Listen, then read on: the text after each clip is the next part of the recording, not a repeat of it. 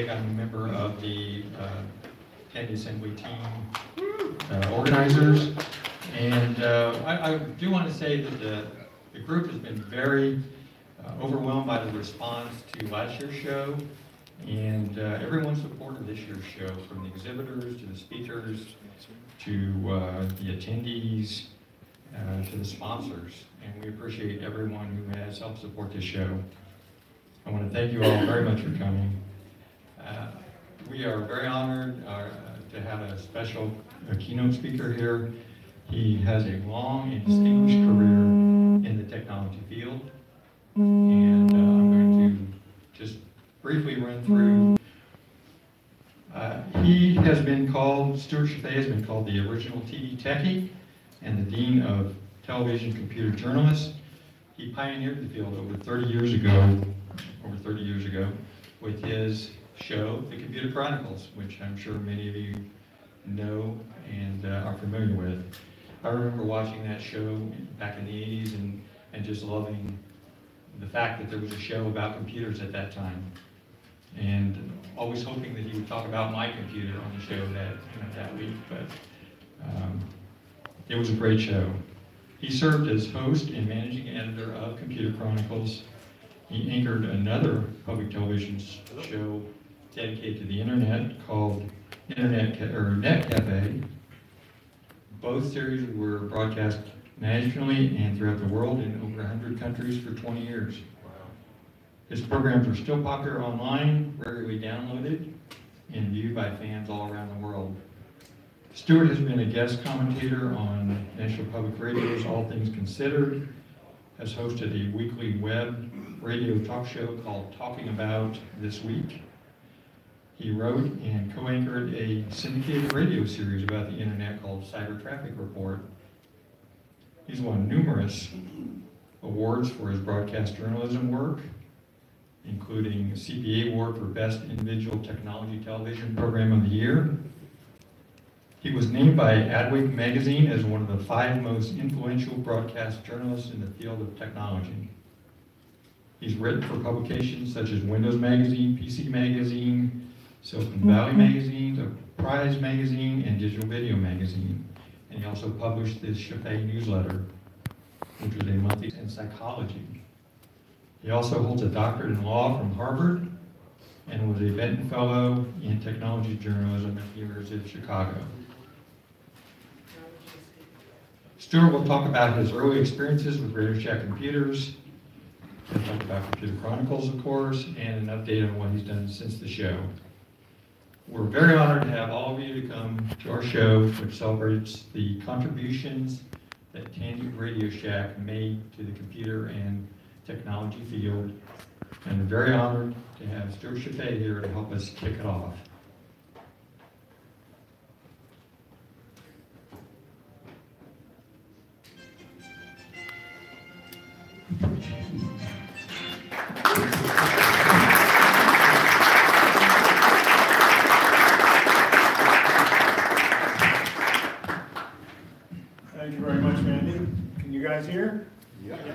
Mickey Mouse audio system here. Couldn't figure out how to get audio out of the laptop, so we got a mic next to the speaker. And we heard only the last couple of seconds of what was the opening theme to Computer Chronicles. But I'm going to start with actually playing a clip of a show we did, maybe you may have seen. It was devoted completely to Tandy and Radio Shack Computers done back in 1991, so over 25 years ago. So let's take a And when your radio broke down, you would take one of these out of the back, take it down to a store like this called a Radio Shack, test it, find it, and probably buy some other electronic junk while you were here. Nowadays, you're just as likely to walk out of a Radio Shack store carrying computer software or a brand new 386 PC. For from the Model 1 to the Model 100, from the color computer to the new multimedia PCs, Tandy Radio Shack has played a significant role in the growth of personal computers. Today, we take a look at Tandy computers then and now on the special edition of the Computer Chronicles. So again, this was a show from 1991, and I was a big Tandy fan, so were a lot of people who worked on the show. So we decided, why not do a whole half hour just on Tandy computers? Computer Chronicles is made possible So we had for Hagerstown Technology sponsors called underwriters in the public television world. And at that time, they kept on changing usage to some of the ads we ran prior to the beginning of the show. I'm gonna run this first couple of seconds of the actual show itself. PC connection and connection, mail order software hardware programs the PC and and the.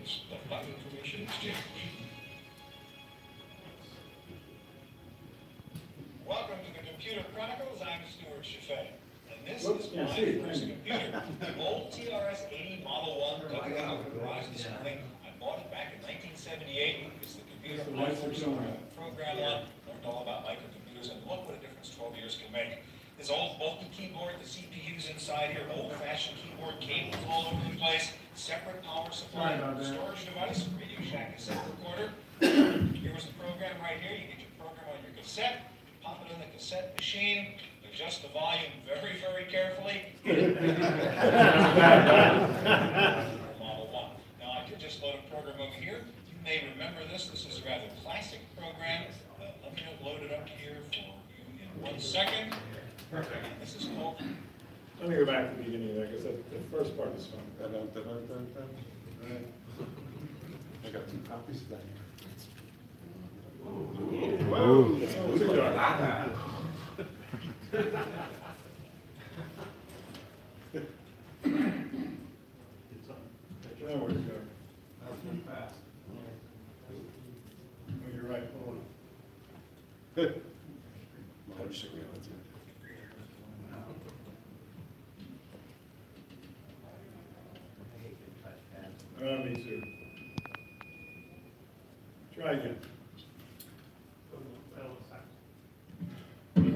Hit the rewind button once. Pick it up. Yeah, got it.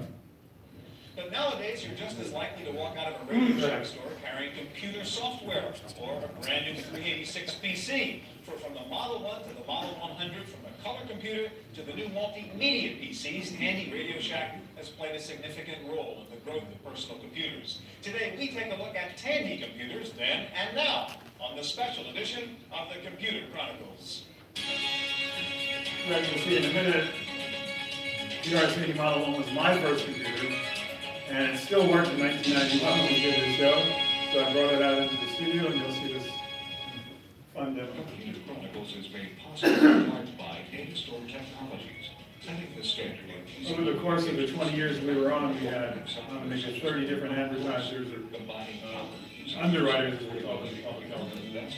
And we kept on rotating until we ran out of them. I think later we'll talk about that. Mail order software and hardware protocols for the PC and the Macintosh, and the Byte Magazine and BIX, the Byte Information Exchange.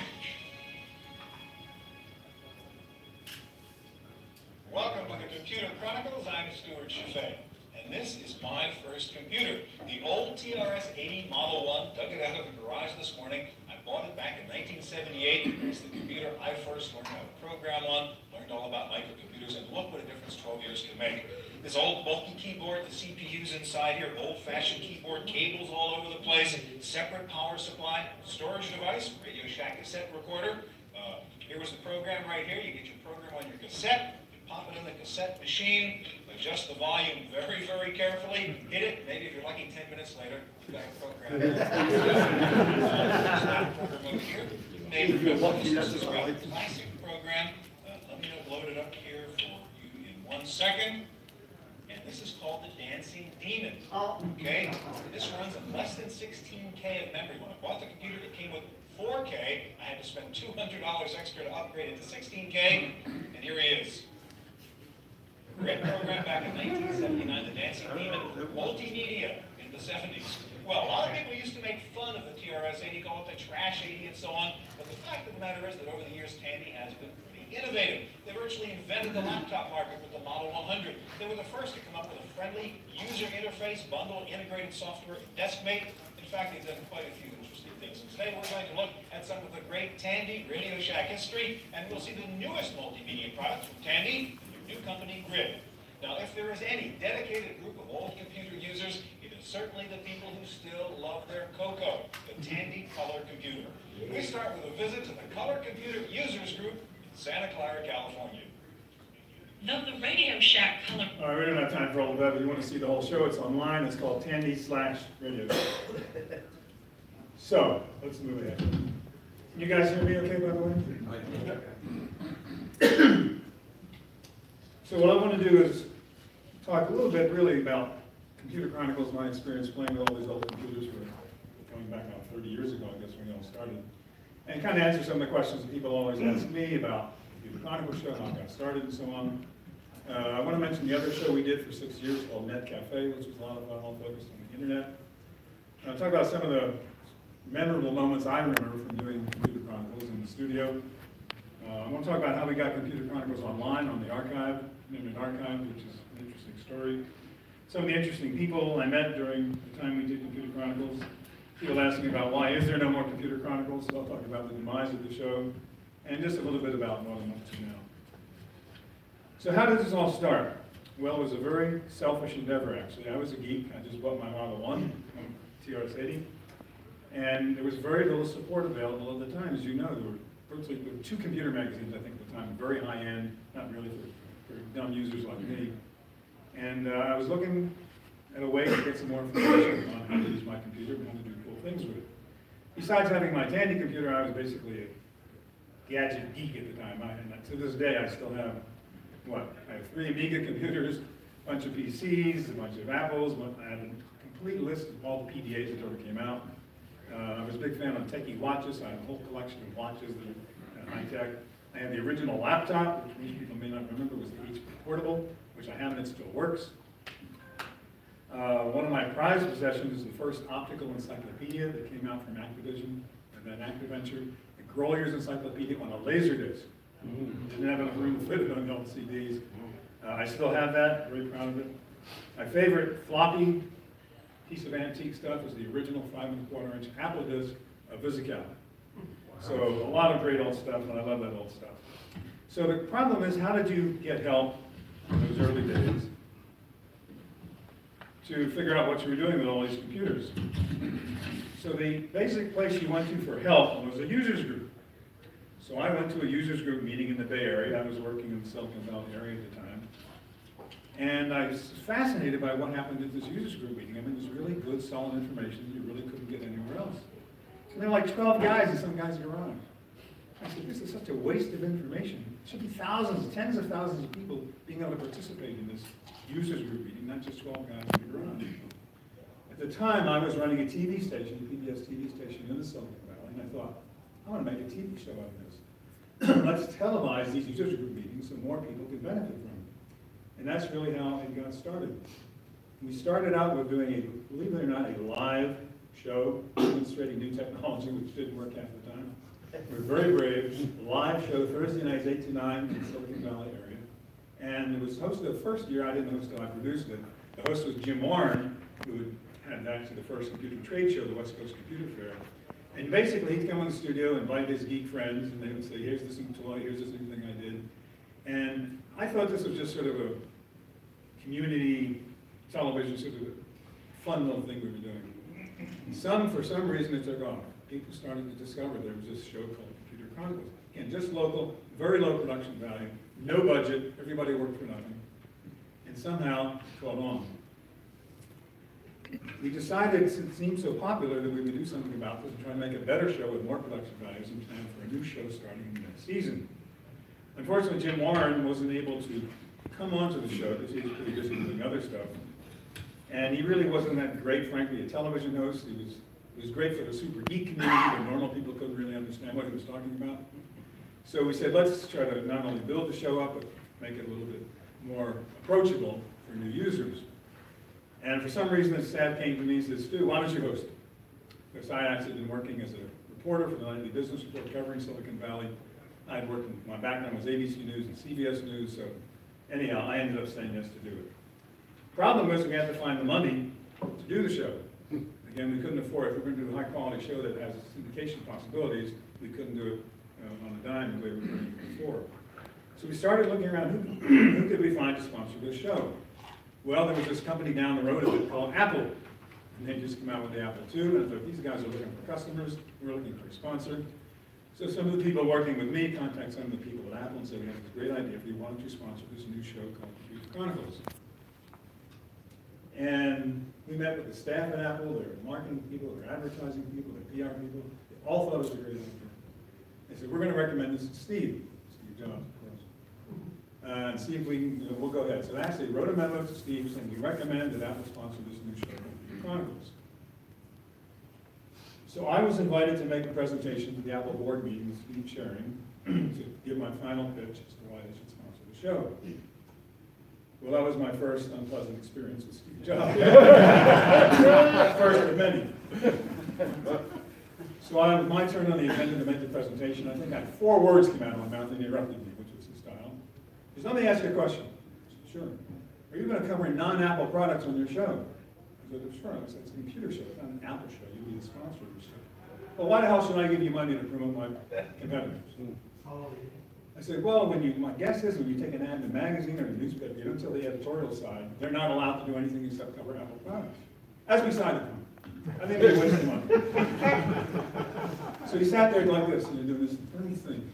I have a better way to spend that money. Let's spend it on, I got an idea, a Super Bowl commercial.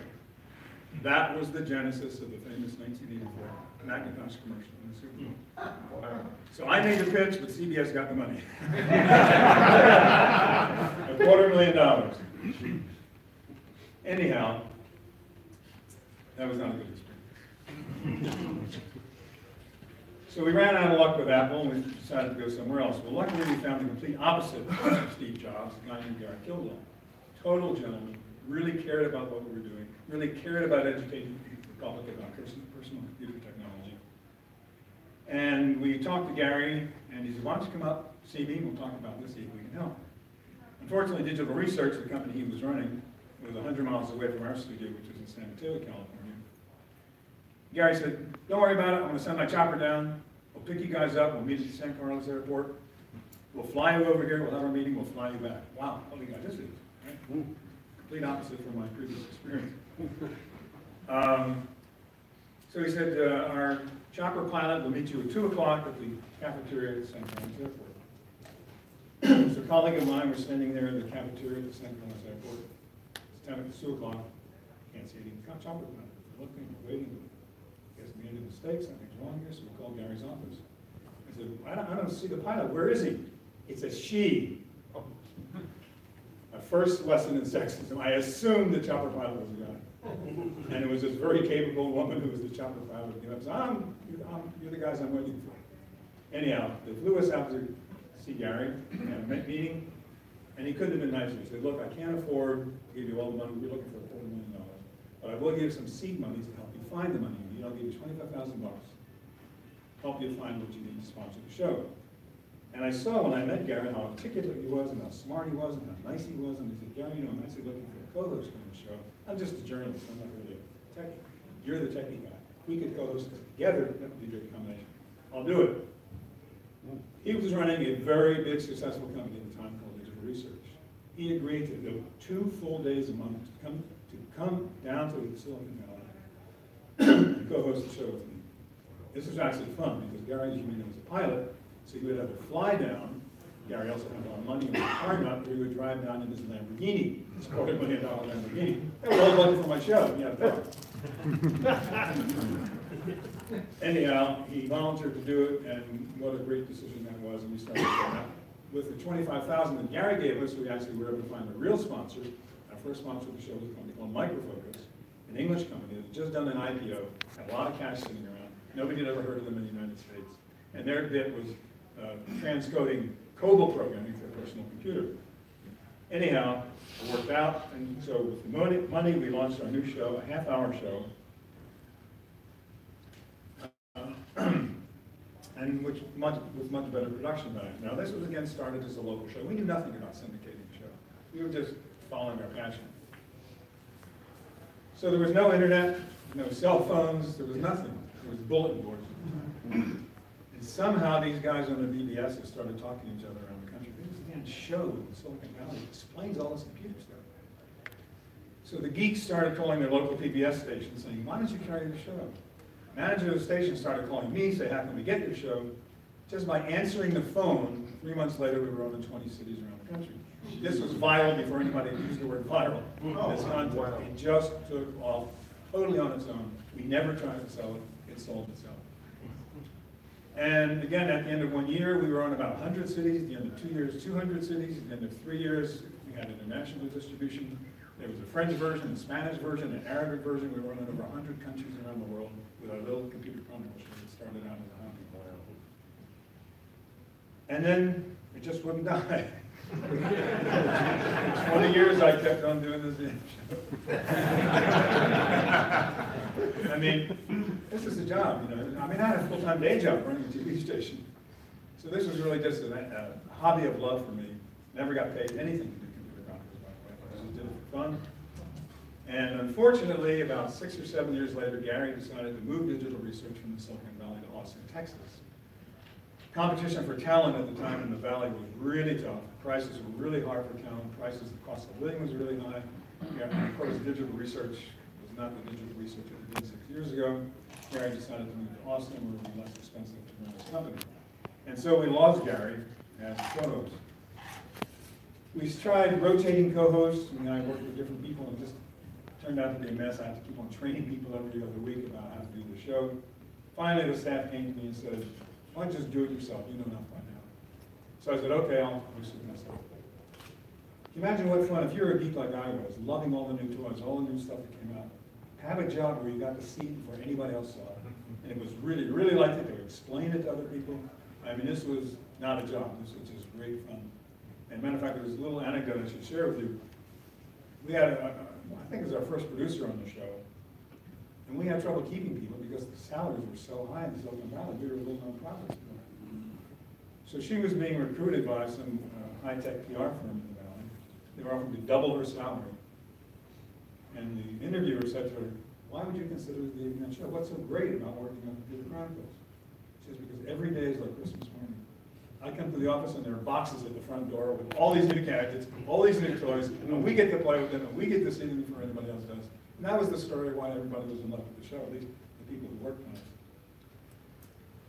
Let me move over a little bit to the Net Cafe show, which never was as popular as Computer Chronicles, but it was interesting. I had the same experience.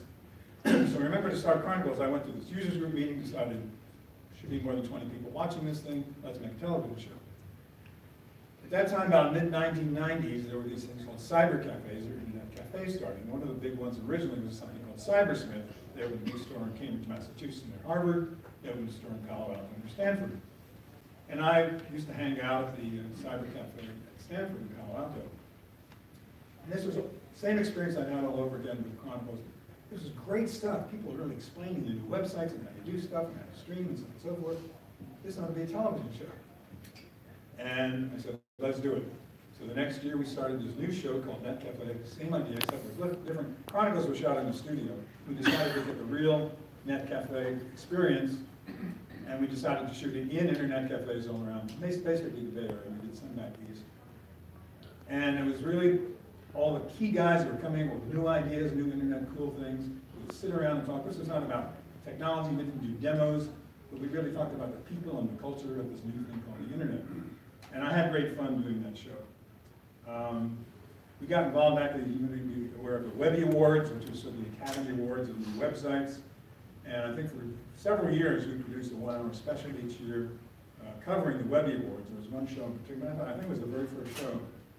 The, guess what, the award for best new search engine went to Google. Well, Sergey and Larry, the two guys who founded Google, were there to accept the award. You may know these two guys are Russians, and they're big ice hockey fans there. They were prepared to win. They call it, the winners are Sergey Brin and Larry Page with Google. These guys rollerbladed down the aisle with their hockey sticks. Somehow managed to climb up on the stage on their skates, roll to the podium, give their acceptance speech on rollerblades. Uh, a pretty, pretty fun moment. Uh, while talking about the internet, I should mention one other thing, by the way, that most people don't know. The very first television program, full television program, half-hour television program, streamed on the internet was Computer Chronicles, an episode of Computer Chronicles. Back in, I think it was 1990, something called the M-Bone at the time, developed by a guy in Washington, D.C. So we were really excited actually put a TV show on the web at that time. I want to talk about things I remember about some of the shows we did. At the time, I was working with a dot matrix printer, and Xerox announced they'd come out with a color laser printer. Wow. Now, there were laser printers out at the time, but they're very expensive. Very few individual users could These guys had a colored laser printer, so we're going to put that on the show. We'll be doing a show on printers and hard copy. So we invited Xerox to come into the studio and demonstrate the new color laser printer. Printer I thought was a little thing you put on your desk. This thing was the size of a Volkswagen. A big Volkswagen, not a big one. Came on two pallets, three engineers to install this thing, set it up, and get it working. And it took them, for- I think, it- I don't know how long it took these guys to get it. And at some point, they finally said, okay, we're ready to try it. So everything was plugged in, again, it was a monster thing, took up half the city. And they give it, so this is the print button, I'm gonna press the print button. I Press the print button, smoke starts. Oh, really great smoke. Okay, hold it, hold it, hold it. I think we made a mistake, I guess so. Give us another half hour. Twiddled around, twiddled around, twiddled around. Okay, we're ready to try it again. Presses the print button, the most gorgeous piece of output I've ever seen in my life came out of this printer. There's a famous picture, you may have seen, there's a picture of a baboon, face of a baboon. Oh, yeah. Brilliant resolution, brilliant color, I still have that out there. And I said, wow, this is the future of output, this is spectacular. So we finally made it through the disaster with Xerox and we came up with a really good demo. Another interesting, we used to do something at the beginning of most shows called, called the toy tease. We played something really simple to get across the idea of what we were talking about. So we were going to do a show on robots and robotics. And as we were researching the show, we found somebody who developed a ping pong robot, a robot that could play ping pong.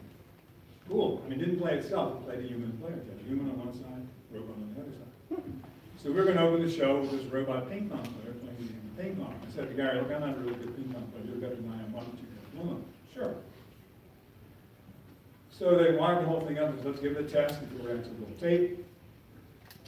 And he said, do you want Gary, do you want to serve, or do you want the robot to serve? I said, let the robot serve. He presses the button, the robot drives this missile right to Gary's Scratch. Kid. What a brave Gary I'll do it again, no problem. We finally got it to work, but that was a very embarrassing moment on the show. Lots of embarrassing moments, I'll give you another one. So we were showing off the new IBM PS2. We had John Dvorak come to the studio and demonstrate the PS2. It was a modular computer. Was like a computer made out of a Lego set. So you didn't have to have soldering irons, you didn't have to pull wires anywhere. You just pull these Lego blocks out. He said, let me show you, this thing is so good, so simple, so modular. You take it apart, put it back together right here. Have any tools. Let's do it. He pulls all the modules out, starts, let's put it back together now, John. Puts that module in, puts that module in, he picks up. Where did that go? Is that, that's not, that's never been shown before. Then we had a sophomore example. We had Peter Norton on the show, Peter Norton Utilities, famous. And his claim to fame was his original program called UnErase. And he astonished people by saying, you know, when you think you delete a file, you don't really delete it, you just delete the address. And I'm going to show you how to bring back a file you thought you were deleting. So let me show you how to do. So he took this file, he said, I'm going to delete this file, watch, delete, gone. Now I'm going to bring it back, watch this. Sweat his back. I it. Know it's here somewhere. Believe me, I can do this. Stop tape, he figures thing out. Pick up again, and he was able to do it. Can't imagine how, I found, was not a song, but something spoken by my, we were doing a show on OS two before. And at the time, there was sort of a competition between Windows NT and OS two as to what was going to be the high-end operating system in the future. And there was supposedly a partnership between Microsoft and IBM about OS two. As is Microsoft's style, under the table, they were threatening to kill OS two. But that was not the public position. Here's this guy from Microsoft on the show, so you'll, solutions on this too. This is spoken a guy from Microsoft. Very telling as to what goes on at the top and what goes on the inside. I was a big fan and always have been, of course, the world was changing dramatically, of speech synthesis recognition. So we did show on speech synthesis and speech recognition. And the first real product that utilized this technology was a doll from Mattel, a talking doll that came out from Mattel. And with this doll, the kid could press a button and say, hello doll, how are you? Doll say, I'm fine, how are you? What's your name? My name is Doll, whatever. So we went to a Toys R Us right before Christmas, and the entire aisle was full of these new talking dolls from Mattel. All right, let's do the demo. So rolling tape, camera's pushing, I say, now watch how this cool this thing press the try me, and I say to the doll, hi, my name is Stewart, how are you? The doll says, oh, I'm fine, how are you? Doll next door says, I'm fine, how are you? The doll next door says, I'm fine, how are you? A hundred dolls start. Never thought of this problem.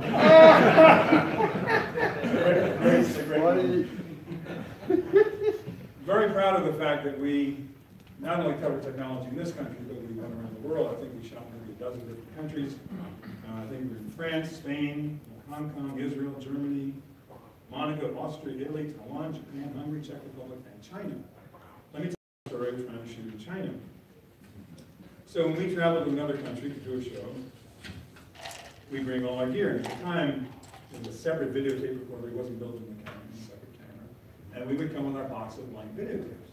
We were shooting on three-quarter inch U-matic video cassettes at the time. So a box about 30 cassettes, I think, to do the show. So we're going through customs at the Beijing airport. The guy says, what's in that box? I said, blank videotapes. What do you mean blank videotapes? So they've never been used. What's on the tapes? I said, nothing. I gotta see the tapes. I said, we never use them. I've gotta see the tapes, to make sure there's no pornography, there's no anti-communist propaganda on there. For four hours, this guy stared at the blank screen. Used up all our batteries. We actually went to go to work, we had to spend the entire night charging all our batteries again. Four hours of staring at a blank screen. We'll never forget that one. Very proud of a show we did back in 1991, 25 plus years ago, when nobody ever heard the term on virtual reality. This was a difficult show to do, again, very new cutting edge technology, but we did a VR show. We had a lot of fun doing the computer bowl shows, I don't know if you ever saw this, but we would actually produce a quiz show between the geeks from the west coast, the geeks from the east coast, who knew the most about computer trivia. And number one, it got me to see how viciously competitive these guys are, especially Bill Gates, by the way. He, he would not, anything, that- anytime he didn't win, it was unfair. Anyhow, so we worked with, uh, I worked with Gates several times, Andy Grove, Mitch Kapor, and Kurt Stillholm, Ed Jude, Andy was there, Marc Andreessen, Bill Joy, Jean-Louis Gassée, uh, John Dorp, all the guys, it was great fun doing the show. It was really super smart guys who were viciously competitive. They did not like to lose, big surprise, they were running the companies. Let me talk a little bit about that. As I finish talking about shows, let me ask you what you think is the most popular show you ever did in terms of the amount of downloads from the archive. What was the subject? of that? The Commodore 64. This is a loyal group of guys. The most popular show has been downloaded, downloaded, not viewed, downloaded over a quarter million times just from the archive. Let alone what's on YouTube. Who would think it's Commodore 64 guys, there is dedicated to that C64 you are to tangent. Let me talk about how we got these shows all online actually, because that's a pretty interesting story also. So by mid-1990s, I guess, we had hundreds of shows on videotape sitting on the shelf. Keep in mind, over the years, the video formats have been changing. So we have three quarter inch, one inch, two inch, blah, blah, blah. And I still have all these tapes lined up, all these different formats, we can't play anymore. So it so happens on the Net Cafe show we were doing, I was interviewing Brewster Kahle, who had started the Internet Archive. And the Internet Archive started out as really an archive of web pages. Brewster's very clever idea was, if you do research, you can go to the library and look up an old magazine, you can go to the library and look up an old newspaper, but you can't go to the library and look up web page. They disappeared. So Brewster decided, let's start a library of web pages so people can go back and research these things. He started a thing called the Wayback Machine. The Wayback Machine, you can actually put in the URL, uh, yahoo.com, 1987, and you can see the website. It was really a brilliant idea. But the archive at the time was focused on text, because that's pretty much what the internet was at that time. All of a sudden, there's a lot of audio and video now on these websites, and you can handle that. So I saw what his problem was, and I said, let me tell you about my problem. I've got hundreds of television shows all about the video history of the personal computer revolution. They're sitting on the shelf, inaccessible.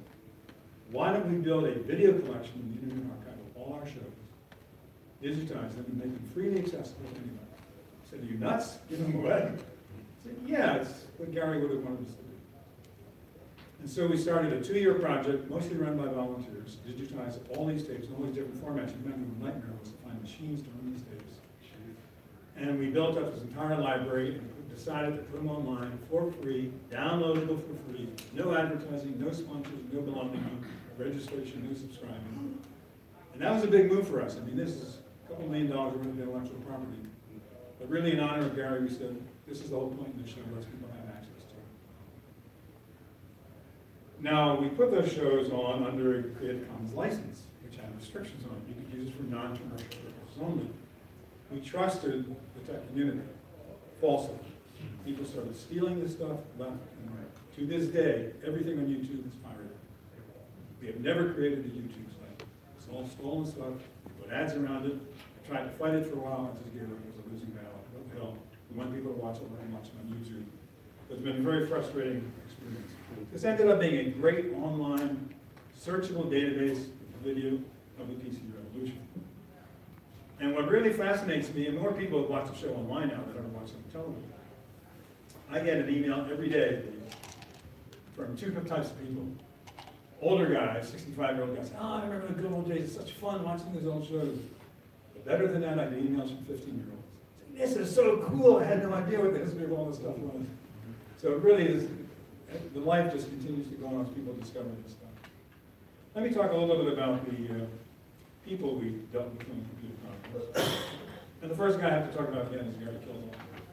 You may know the story, very, very sad story. Poor Gary died at age 52. Very sad ending to his life. He just could never get over the fact that he got screwed by Bill Gates. It drove him crazy. But Bill Gates became a hero. Nobody's ever heard of Gary Kildall. Most people never heard of Gary Kildall. Really invented the personal computer business with the CP/M operating system. He just could never get used to that. He, his life really fell apart, started drinking, mm-hmm. drugs, lost his wife, gained weight. Believe it or not, Gary, the most gentle man you can imagine, was in a biker bar in Pacific Grove, was drunk probably, got into an argument with some guy, swung at him, knocked him down on the ground. It's tough to tell the story. Hit his head on the concrete, died three, years- three days later of concussion. Incredible, incredibly sad story. Such a good man, such a good man. Let's talk about the IBM MS-DOS CP/M battle. As many know, there's the great Gary flying calling. To some degree, that's true, but let me tell you what Gary told me about that thing. There's lots of aspects of it. But I was sitting with Gary one day, and I said, come, tell me the truth, what really happened when you did these IBM meeting? This told so much about who Gary was. You know, they wanted to come on a Saturday. That was my wife's birthday. I promised my wife I would take her flying. And I wasn't gonna cancel that for some damn meeting. And this is the kind of Gary was. His loyalty to his wife was more important than a billion dollar IBM. There, again, there's many other aspects of the story. But this is the, Gary was not a businessman. Gary was not one of these viciously competitive guys. He was a brain guy. He was an innovator, developer, coder. And that was an example of it. I think you know the story of what eventually happened with IBM and CP/M and MS-DOS. Gary was certainly not a businessman. And that was one of those great weaknesses. Great technology guy, not a businessman. They eventually made a deal with IBM. And it was a compromise. IBM said, look, you out with our computer, we'll put CP/M on there, but we also want to put MS-DOS on there. And let the market decide which one the best. Gary said, no problem, we're going to win that battle. What Gary didn't know, which wasn't in the contract, was that IBM was going to charge $240 for CP/M and $40 for MS-DOS. Guess who won? Six to one price difference. Gary got screwed, never got over that. I might say Bill Gates is certainly a tough, hard-nosed businessman, but I've spent some time with Bill over the years, and I'm not like most guys, I don't think he's a jerk. Steve Jobs, jerk. Bill Gates, not a jerk. Uh, a really smart guy, no question about it. Tough business guy, no question about it. Absolutely wants to win. But a decent guy, a smart guy, a cooperative guy. Uh, always got along well with him. Uh, to everybody's surprise, I've never been a guy to badmouth Gates, except, yeah, they sort of screwed Gary, but that was mistakes on both sides of that negotiation. Bill Gates told me two brilliant things, not to do with technology, but to do with managing a large company. Remember at the time, Microsoft owned the world. I mean, computers around the world, software was Microsoft. Operating systems, applications, Microsoft Office Suite, et cetera. So I said to him, what are some of your basic rules of how you manage a monster company like this? He said, well, I have one basic rule. So I got tired of all the managers coming in to me for a meeting and telling me how great. I said, Everything is great, you have no problem? Everything is great. And he said, this can't be the case. I need a rule. Every time somebody comes to me in a meeting and says something, gives me a piece of good news, you must give me a piece of bad news. That was brilliant of management. Tell me what's bad. Don't just tell me what's good. Because what's bad needs my help. What's good doesn't need my help. What a creative mind to think about that way. The other thing that amazed me with Gary, with uh, Bill, at the time, again, remember, this was a Microsoft world in the early nineties. Windows had taken off, et cetera, et cetera. And I said, uh, you know, what do you, what do you worry about? So I wake up every morning worrying about what I didn't think of. Where are we vulnerable? Who's going to take us on? Of course, what he hadn't thought about was networking. But he was smart enough to know he didn't know. And I just was very impressed with Bill as a guy. And look what he did with his life. He gave up the whole tech business, and spends his billions of dollars giving health dollars around the world. He was really a good guy. We had George Morrow filled in actually after Gary left for show as a co-host for a while. George was a really bright guy, very clever guy. He came out he made remember the Pivot one first luggable, actually, he was smaller than the Osborne, but compact. It was a luggable portable computer. And This interesting for people who went to floppy disks. George was on the show actually as a, as a provider, and he showed me the Pivot one, and he used five and a quarter inch floppy disk. Apple had just come out with three and a half inches. George very proudly said, everybody's stuff is on five and a quarter. Who wants to buy a computer that doesn't show five, like five and a quarter? He, he was wrong, but it went out of business. It was a way of thinking, and he hadn't quite got up to the world. Uh, Dealt a little bit with Michael Dell, totally in the Steve Jobs category. Did not like him. Let me tell you another Steve Jobs story. So there's some years later when the Lisa computer was coming out, Lisa. There was a big event, and I think it De Anza College Auditorium in the Bay Area, which was recognized, Lisa. And Steve did his usual splashy demonstration, and showed the new Lisa, blah, blah, blah. After the demonstration was over, they invited journalists to come up on the stage and do one-on-one with Steve. Well, what everybody was talking about in Silicon Valley is why is this damn computer called the computer. And the word was, Lisa was the name of the illegitimate daughter. But we never admitted to paternity. I thought it was pretty damn interesting. Everybody was talking about it. So everybody else is talking about specs from Lisa, and I came up and said, Steve, they're gonna ask a question. And everybody's asking me, what's the story and why it was called the Lisa? That's not an appropriate question. Oh, jeez. A lot of people are asking me, about, get out, and took his fist at me, security, get this guy out of here. Oh. This kind of guy Steve Jobs. Really obnoxious punk. Clever, brilliant, but not a nice man. Apple, let me say a word about Apple. Now, they're obviously a great mm. company. They want, do wonderful products, great marketing, great design, et cetera, et cetera. But they are not a customer-friendly company. Me tell you my experience, maybe some of you have the same experience.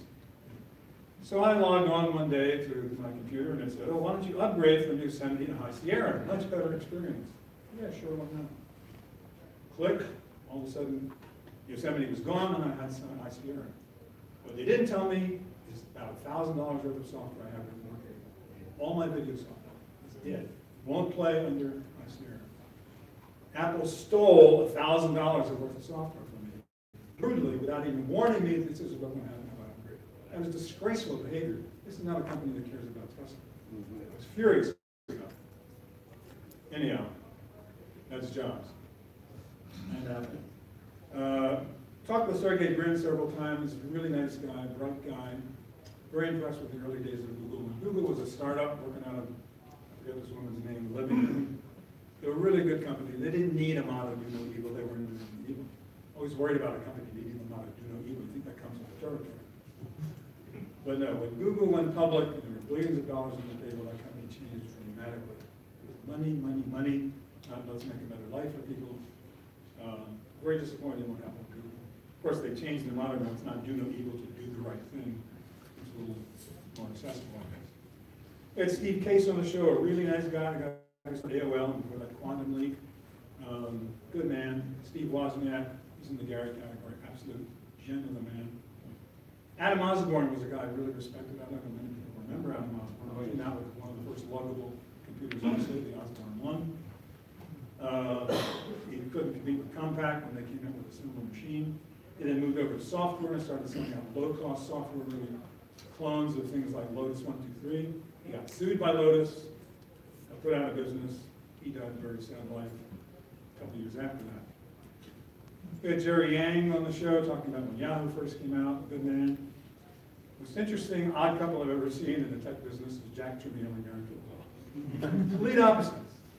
Gary was an in, in, in, inner thought kind of guy, techie guy. Jack Tramiel used to be, I think it was a sewing machine salesman. He just knew retail and selling boxes. Gary had nothing about that. He knew nothing about technology. I don't think he'd ever been in Silicon Valley. And somehow these two guys got together with the new division of Active Ventures and Activision. And actually Gary worked with Jack to do some of his multimedia products that came out of his company. Uh, really odd combination. Um, let me tell you one other interesting story. So we had many CEOs on the show who would come into the studio to demonstrate their products.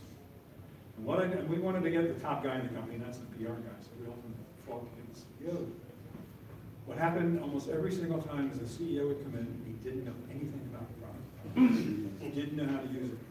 Classic scene was, there's the CEO the set, ready to do things. This Little guy was under the deal, F two, press F two. I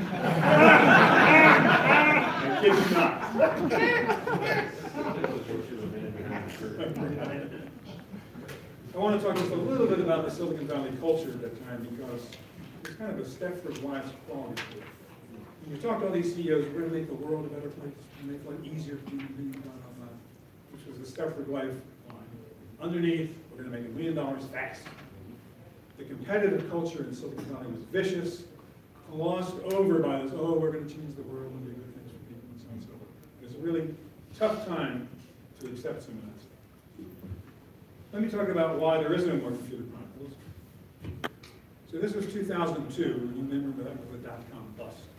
So for several years in the dot-com boom, money was just pouring into stupid ideas that had no chance of ever making a profit. And people got burned, and a lot of money was lost, and it was hard to raise money in the valley. So one problem was the dot-com bust and people losing faith in new technologies. Second thing is the computer business has changed radically over 20 years. Our ace in the hole was we said to sponsors, everybody who watches our show is a customer. You're looking, be told what's cool, what should I buy. 20 years later, everybody had a computer. So the game we were playing, introducing people to this whole idea, wasn't the same anymore. Matter of fact, I had an interesting conversation, I don't remember his name, the guy at the time was the editor of Macworld magazine. He said, Stu, he said, when computers become like refrigerators, you just open them and close them, or go down of business. He was right. People didn't need as much of the kind of stuff we were doing. The other thing that happened was, quite frankly, it was a very dull period starting in the early 2000s. Uh, Microsoft kind of owned the software world, IBM at the time sort of owned the hardware world. Startups had been just put out of business by these two big monsters. And it really wasn't as interesting as it had been before. We were having a little bit of struggle coming up with really cool new stuff. So there was a lull in innovation, there were lots of mergers and acquisitions, which made things less competitive. And Frank and I have been doing this show for 20 years, 52 weeks a year. I was tired. I needed a break. So let's rethink this. Let's pull the show off the air for a while. So hard to raise the money. It was so hard to do what we'd done before. And I had a day job still. Was TV station. Um, so we decided to pull it off and see what happened. And not much happened. Um, let me tell you what happened next. So after taking down Chronicles, I was actually pretty impressed with what we had done with the Internet Archive. We digitized all of the Chronicle shows. That was a major move at the time, for certainly for the archive, certainly for us. And actually, Brewster Kahle called me when he heard I wasn't doing the show anymore. He said, what you did with us for Computer Chronicles, could you do the same thing and manage our getting other video collections like yours? Because what you did was so successful. I said, sounds like a great challenge. So I actually went to work with the nonprofit Internet Archive for a couple of years, helping them build their collection from, again, text, audio, and video, now it's a gigantic collection God knows how many petabytes. Let me tell you one really, two sad stories about my work at the Internet Archive. We started something in the archive called, terrible name, Open Source Video. Totally geeky, lousy user, user interface, terrible front end, but the idea was brilliant. By now bandwidth had become less expensive, storage was less expensive. We said, we will host your videos, whatever they are, upload them, we'll carry them for you. Brilliant idea. And it was very successful. It was too successful. In the context we were in in this nonprofit, I, I get, kept going to our management team saying, we've gotta do something higher, this idea of hosting for free user-generated videos. And so, how are you gonna make money showing videos of cats playing the piano? Trust me, I said. They didn't trust me. Um, What happened next was very sad. So they didn't want to invest any money in making open source video better. A couple other guys did have the idea of stealing our idea and making it better, and they started something called YouTube. Mm. San Mateo, California, right down the street from us. In fact, when they were about to start YouTube, the guys from YouTube called me and said, look, we've got the great user interface, we've got the great platform, we've got the front end, you've got the content, we didn't have any content. We work together, use your content, use our front end, mm. great idea. Not next on that. So what happened next, a couple months later, YouTube launched, the biggest thing that's ever happened. A Couple months later, they sold YouTube to Google for one point six billion dollars. Oh, Gee. We really blew it. People wouldn't believe it. Anyhow, the next really interesting experience I had in Internet Archive was a similar problem to what I had with Computer Chronicles. Turned out, I found out that NASA was really interested in doing what we had done by putting, creating a website with all video. NASA owned, as I owned the history of the personal computer revolution, NASA owned the video of the American space program, 50 years worth. As is my problem, they had tapes sitting on shelves, in some cases films sitting on shelves rotting away. Nobody had access to this valuable stuff. Finally, they woke up at NASA one day and said, we've got to solve this problem. So they put out an RFP, request for proposal, to somebody to come along and say, can you build a website for us? It will archive all our videos. Well, I was crazy enough to bid on wrote the proposal, up against lots of big companies, we were a small nonprofit.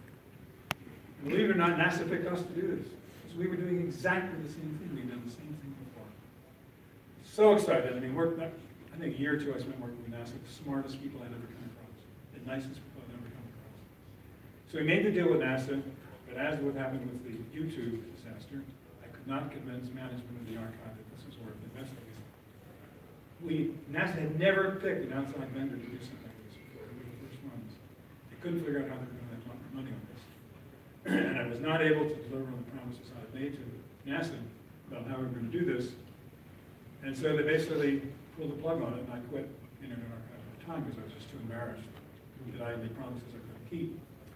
But I had a second play in mind. NASA archives is supposed to focus exclusively on NASA.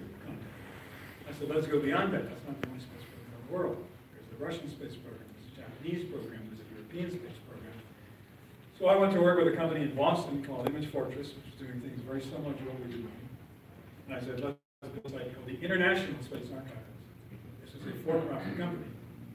Great idea, great fun. I had never known what the pressures of a startup were. Pressure for me to bring money in, to do things that I didn't think were ethical to do, just to bring money in. I, I wasn't comfortable doing.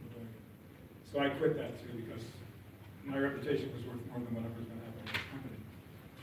So that was a sad story also. Actually being so frustrated with my experience with for-profit startups, I totally dropped out and went to academia and became a professor of broadcast journalism at the University of Nevada's Reynolds School of Journalism, which was great fun. And that's really basically, since then, I did that for a couple of years, but I couldn't afford to really do that much longer. The pay is terrible for a university professor, or at my level anyhow. So since then, I've been doing freelance production, a little bit in the tech field, but really I've been very interested in technology in the healthcare field, and some personal experiences myself, which got me interested in that. Uh, and sort of broadened out a little bit as I did a special for PBS on free music for the piano. I did a five-part special for the Fox Business Network on palm oil, which is a long story I don't have time to get into. People are always telling me, why didn't you relaunch Computer Chronicles? You just have to accept the fact that the world has changed. I mean, every guy with an iPhone in a basement can do some version of Computer Chronicles these days. I just didn't want to go through the whole. And our show was an expensive show to do. It cost us a million bucks to do the show. And I just didn't have the stomach to run around with my hand out saying I needed a to like the show again. The world had changed too much. So every, every week, it's a new thing. Oh, I was only doing a show this week. I'd love to cover that subject. So I didn't get to do that, and I just finally got, got tired of fighting the money battle. Um, so I'm back to being a tech geek, consumer. Um, very interested in things like virtual reality, artificial intelligence, self-driving cars, um, the Internet of Things, what's happening with mobile, and voice fascinates me, how we got to things like Alexa and Google Assistant and Siri and. I mean, we did shows on speech for years, they never worked until about two years ago. Uh, I'm really focused on privacy issues on the web. I'm really upset with what's going on, in which people like Facebook are making money on material that I've given for nothing. What a great business to be in. Your supply cost is zero, you can basically charge people for using my content. I'm just upset with commercialization of the web, as many early web founders are. It drives me nuts when I click on seeing something, I can't see it, I gotta watch a Netflix commercial. Yeah. Drives me nuts. My current passion idea is to start something I call the PBS of the internet. Quiet, peaceful, non-commercial place where you can surf the web, do what you want to do, and get out of there without being bombarded. ad after ad. I don't know whether that'll kick off, but that's. Even though we put all the archive stuff, the Computer Chronicle shows and Netcafe shows online, they actually are all copyrighted, and we still are in the business of licensing that content. We worked with CNN for a couple of years, they did a tech show in the eighties, tech in the nineties, they licensed a lot of our material. Every day I get calls from people around the world who are doing documentaries or feature films, looking for this video, which basically nobody else has. So we do a little bit of that. I actually worked on an interesting project, especially for me, the Steve Jobs Opera, which premiered about a year ago, the Santa Fe Opera. And I spent a lot of time researching Jobs and Apple at the time after he died, of course. And uh, I learned a lot, but I didn't know about Apple and about. Didn't change my opinion. But it was really interesting. I mean, Jobs was such an interesting character. I mean, Apple was such a, for a while, screwed up company, which obviously came back from the dead, and it was almost out of business at some point. It was really interesting working on that. I actually put together a computer conference around the premiere of the opera, talking about Apple and Steve Jobs. I actually wrote a book called Darwin's Dilemma. I've always been fascinated by interspecies communication. And I've done some research with Koko the gorilla who did sign language. I wrote a book about that, which I'm still trying to get published. I've talked to some of you about, everybody's asking me, why don't you do a book about the inside story of the Chronicles? Good news is, I have all the notes, all the documentation from every show we ever did. Bad news is, it's going to take hundreds of hours of work to turn this into a book. Trying to get going on that. My passion at the moment is Gary and the plague of that. I mean, this story has to be told. It's such a great story, it's a sad story, meaningful got so many messages in there. We've got the play finished, we're ready to go. We decided not to do it as a play because it's really hard to raise money for something that vanishes after a couple of weeks. So we're working on getting money to do either a feature film or TV special. It's called The Forgotten Computer Genius. That would be a title. And that's what I'm trying to get done right now. In terms of communicating and publishing and journalism, basically it's my Twitter account. I tweet every now and then with weird tech stories, and that is my continuing attempt to say something of value to people. That's about it, so thank you very much for your attention. I hope you found it interesting.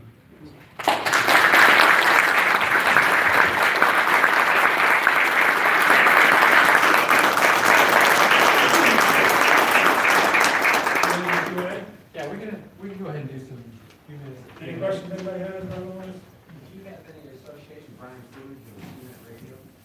No, Well, not really. I mean, that's a long story. When we were putting together the Chronicles, our company, was CNET, their. We in fact met with CNET, met with YouTube, uh, trying to work out a deal together. They were tough to deal with. but never happened. So We dealt with the main guys at CNET. They were obviously did a great job, did a brilliant job at CNET. We ended up not. I had to emulate, emulate a Mac on my Amiga so I could listen to it. Because it didn't have real audio on the Amiga. Yeah, yeah. Anybody else have any questions? Okay, yes, go ahead. Did you ever uh, read Letter to Kelly? Yep. How did, how did that, uh, Uh, I've read so many books about, I have to remember actually what was in that one. Um, tell me, I don't really remember. oh, it was, it was just a big, long, big history in the beginning, so. Right, right, right, right. I mean, it there's so much written about the valley. A lot of it's sort of PR oriented, uh, a lot of it's sort of dig the dirt oriented. Um, I, I- I'm certainly not up to speed on all the stuff. Do you have a, a that kind of book do you recommend of the history? That's a really good question. No, I don't. I have to think about that. Sorry. Write one. Uh, believe me, all I need is time. Yes. Uh, did you see the series Halt and Catch Fire? Yeah. Yes, uh, not just a bit of it, I didn't really see all of it, I'm sorry. I was trying to, in fact, sort of pull myself out of this whole tech thing for a while. I sort of buried it in for twenty years, and so I expanded to healthcare and other things, that I should take a fresh mind. Yes, So what do you think of the uh, new Apple Watch and its heart monitoring? as much as I hate Apple, I love Apple. Uh, I like it a lot. I'm a big Apple Watch fan, this is actually the original, it's not the new one. I'm gonna get the new. Uh, a lot of people think it's a waste of time, a waste of money. I think it's pretty cool. I think what you can do on your wrist without grabbing things out of your pocket uh, is very impressive. It's the best watch I've seen that does all this stuff. And I started out with other ones before Apple came out with the Apple Watch. Uh, it doesn't bother me about all this harm. I think the health stuff is really a good step in the right direction. There's so much of your information being stolen and used right now. That's the least of my problems. Somebody doesn't know what my heart is. It just cracks me up when I see that watch, I think Sam Newell, Dick Tracy. Yep. Television. Yep, same things. No, I think it's a very, very cool tool. They did a really good job. And again, I resisted for a while because I didn't want to resist everything Apple until I give in. I said, Well, that's really the best one out there. Yes? Uh, what's your favorite episode of Big Heart that? Oh, boy. Tough one. Probably the very first one we ever did, because I was so proud that we actually pulled this off. Nobody thought we would ever do this. It was called From Mainframes to Minis to Micros. We actually went out to MIT and looked at what they were doing with mainframe computers and some incredible stuff. And just the fact that we pulled this off and did a show, I was able to pull it off. At the time, I think, I don't think Gary had co-hosted yet. I think it was using Herb Lechner from SRI. I think was the co-host of that first show. You know, the really brilliant guy. We had actually gone to SRI also. that didn't work out, they were very big friends of the show. Uh, just the fact that we pulled it off and did a show. We had some, in the early days, interesting times because we finally migrated to having more sort of product company oriented people. When the show started, we had a lot of academics. About the very first season, not too long after we did that Anthony Michaels Minis show, we did a show on artificial intelligence, way back 30 years ago. And we had Ed Feigenbaum, the professor of artificial intelligence at Stanford on the show. Ed was used to lecturing for 50 minutes. Didn't realize this was a TV show. We start out him one question. 45 minutes later, he's still talking. Ed, you can't do this. So that's certainly, but not my favorite show, one of my least favorite shows. Yeah, In your watch collection, do you have any of the early talking watches? I do, I have lots full of these watches. I mean, every gadget you could, I have the first MP3 watch, video watch, and I got them all. I was just fascinated by how you could squeeze that technology onto your wrist. And, uh, yeah, I I bought every one I could find. But it's pretty much done. Yeah. Yes? What are your thoughts on, um, why Tandy Radio Shack lost the lead person? Well, that's a complicated question. I think it's a couple of things. They got stuck selling in stores where people didn't know what they were talking about. You know, certainly my experience when I went shopping in the store. Um, They really weren't, it wasn't a Silicon Valley company. I don't think they were really in tune with the culture of what was happening at the time.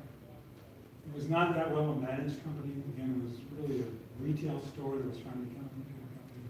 They just made a lot of mistakes and they were it outplayed by the bigger player. Uh, which is a shame. I mean, obviously, we talked about, some very innovative things. Um, and it was sad. I mean, I just told somebody before, I mean, I still drive by the original Radio Shack store I went to when I bought my Model One. And it's sad, and it's now a UPS store. Yeah.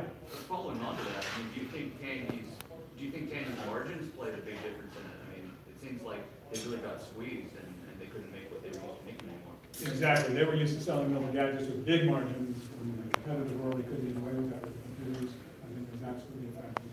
And they just, they didn't run the business well, I mean, had some cool technology, obviously, but, uh, they weren't prepared to fight the big guys, especially when all the other guys came into the business. And even things like, uh, what? Um, there was a big chain for a while. Computerland, Computerland. I put Radio Shack on it. Okay, thank you all again very much, I hope you enjoyed it.